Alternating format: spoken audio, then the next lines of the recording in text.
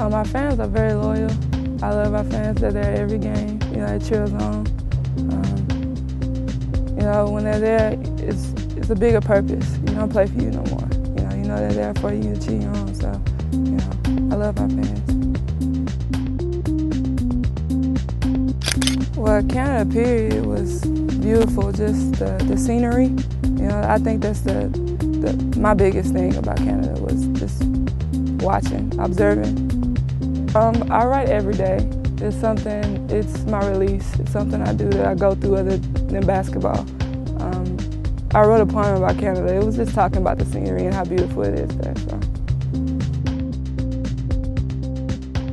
We played Baylor, and um, I got on the court and shooting. You know, I think I was doing something, and then, you know, I heard the crowd saying, you know, shorts on backwards. You know, just chanting it, and I happened to look down and.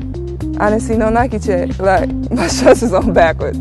I was really embarrassed, and you know, it wasn't a good time because you know I got chewed out. But you know, now that I look back on it, like it's, it's funny. you know, I'm out there playing with my shorts on backwards.